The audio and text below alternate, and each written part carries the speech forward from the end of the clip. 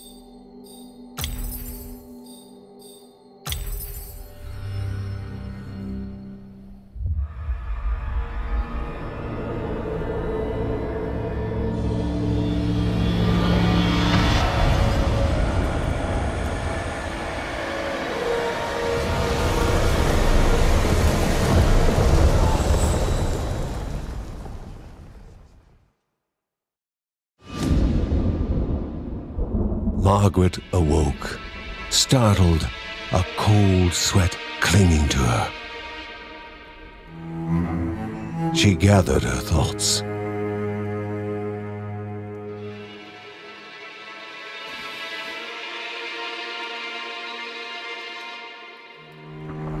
Aged wood creaked, echoing through the quiet rooms.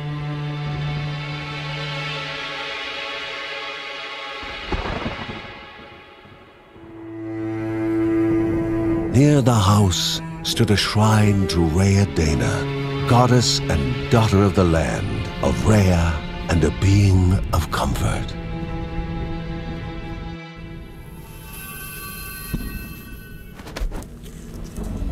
Margaret sought answers. But the goddess did not speak. There was only the faint whisper of something dark, something hungry.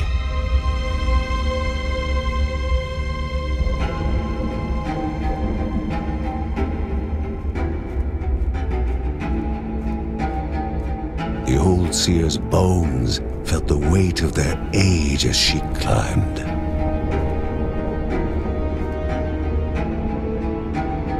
The only thought on her mind has it begun again?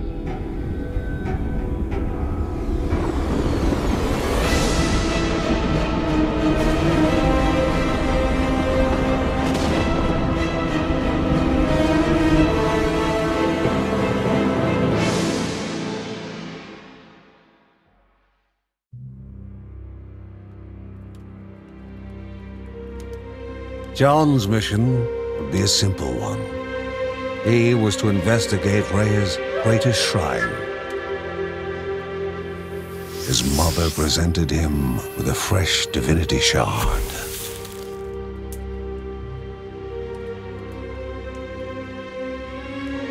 From his brother came a newly sharpened sword.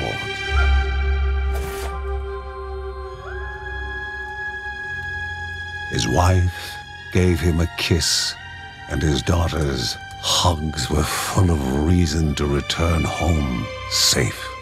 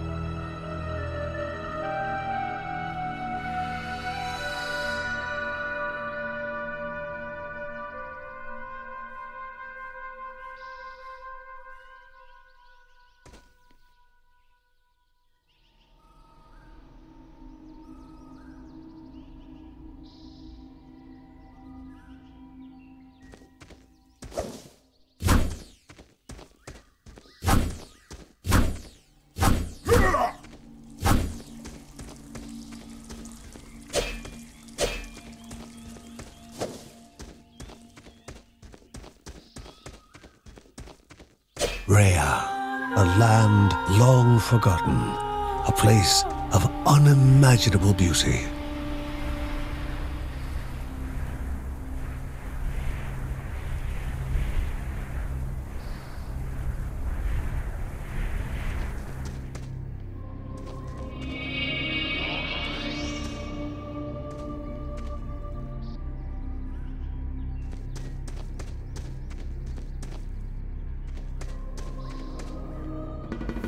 First appeared as sludge given life, slithering creatures, small and vile.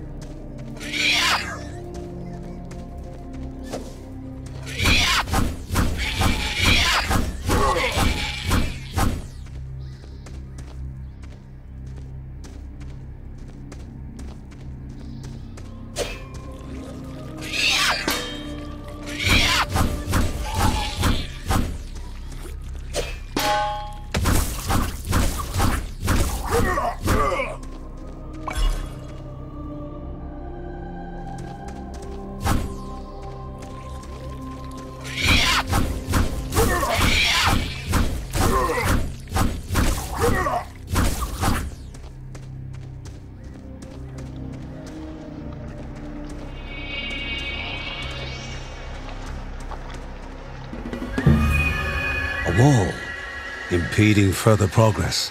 A battle was certain.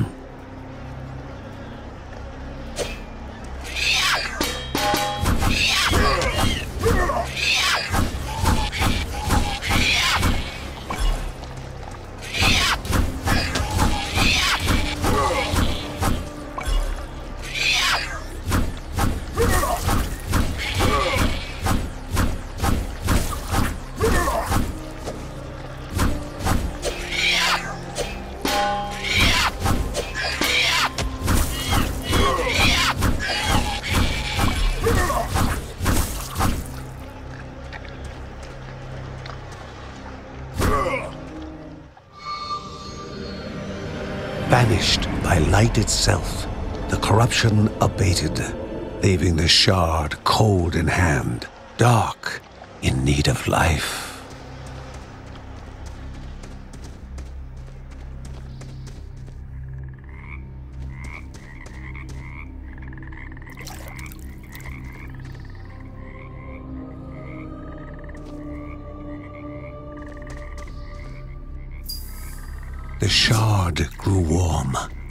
Humming softly from the harnessed energy.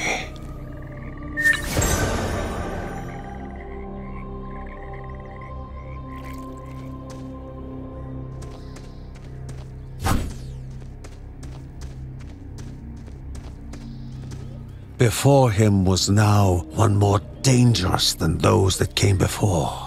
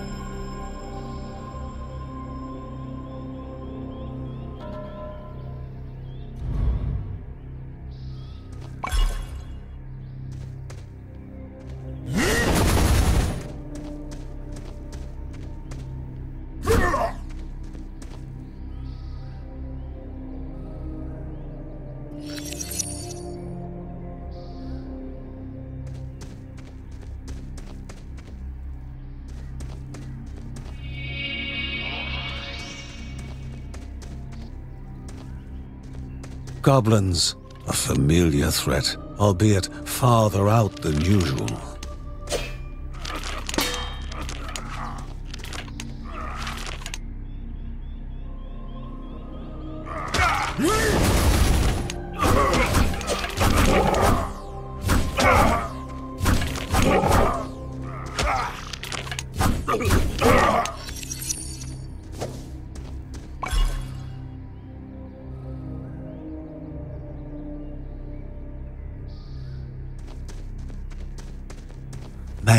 Magnificent but dangerous, a land of love found and of love lost.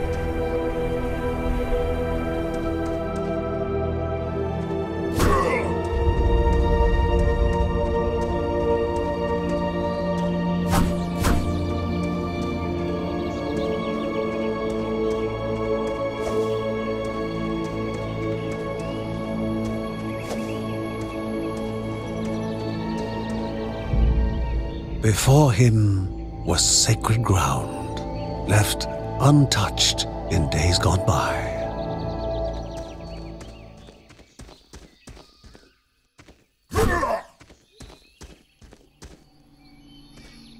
Remaining calm and collected, the shock of his heart skipping beats was concealed in expert fashion. Before him stood Linda, his eldest daughter, with bow and quiver at the ready, determined to do her part.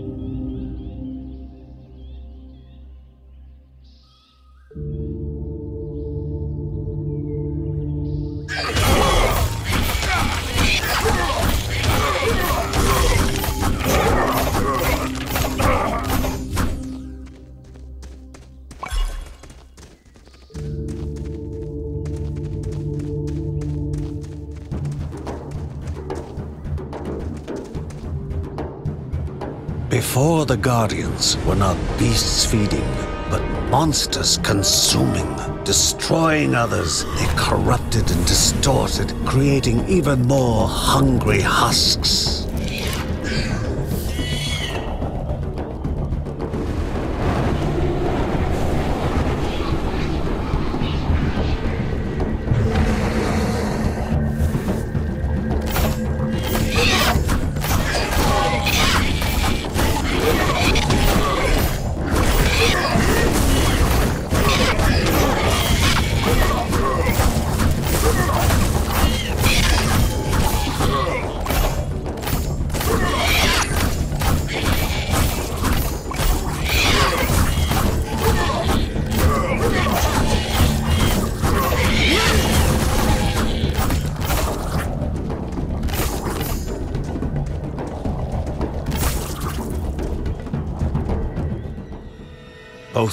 Both father and daughter gathered their thoughts, their hearts heavier than before.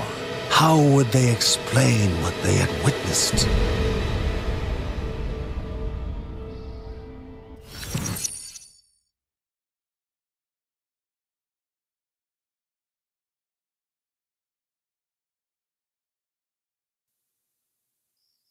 The ancient tree had been cut down. Together, Father and daughter described the horror, the creatures dripping with decay that slithered into bodies stuck between life and death to bolster their ranks. Grandma Margaret confirmed what they all feared. It was the corruption, a cruel entity spoken of only with hushed voices, an ocean of darkness that flowed from the top of Mount Morta. And the Bergsons' duty was to stand against this devouring deluge of death. Kevin was also eager to do his part in the family's fight, especially when his older brother Mark was off somewhere. He was as much a guardian of their mountain home as any of them. She stood. If they were to reach the summit and destroy this evil, as the Bergsons of old had done in the past, they would need the assistance of the sanctuary.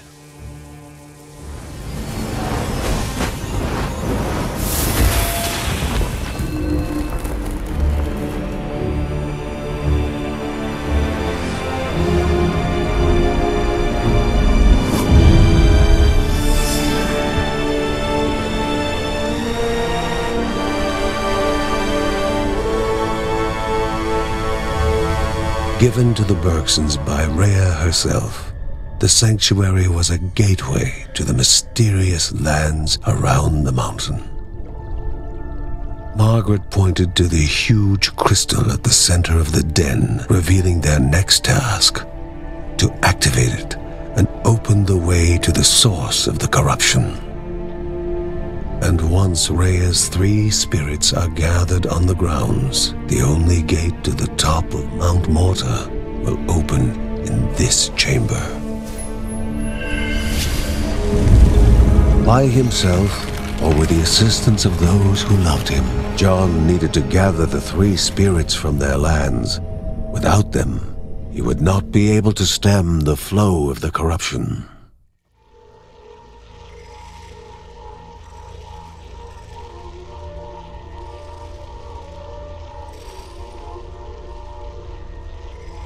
Halls of Anaidia must be here, for she needs to be found.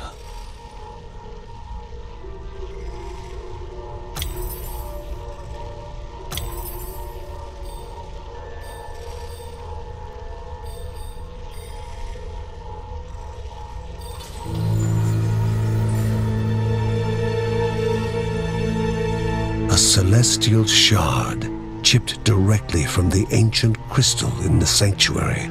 It would be the Bergsons' lifeline, a tether to pull them back home before death's fateful whisper.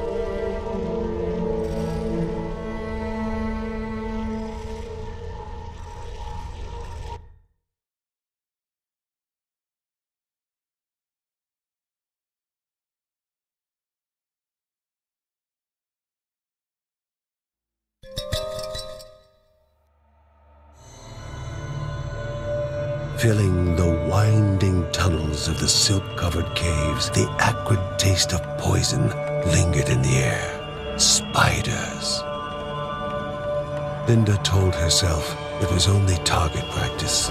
As she readied her bow,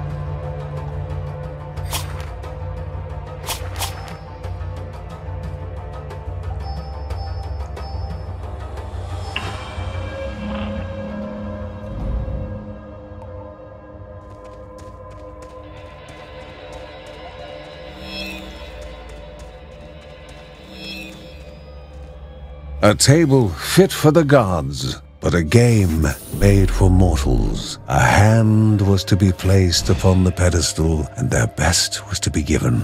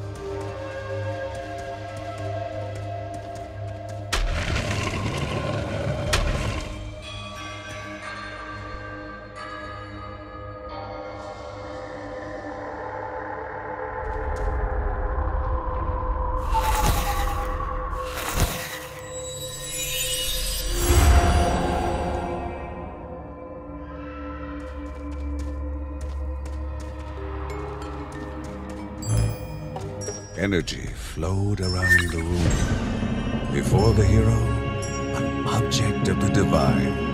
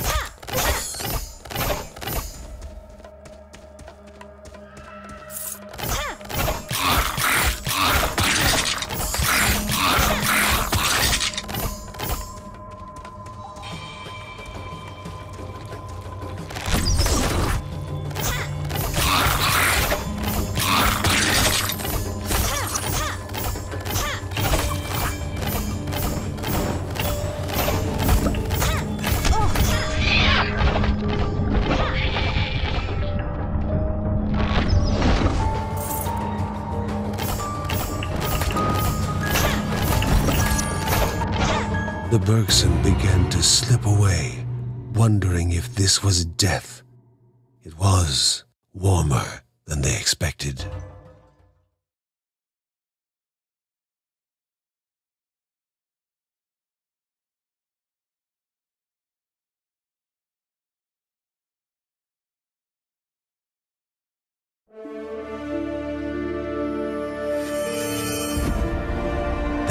Gasped for air as the celestial shard brought them back, a sensation no hero could become accustomed to.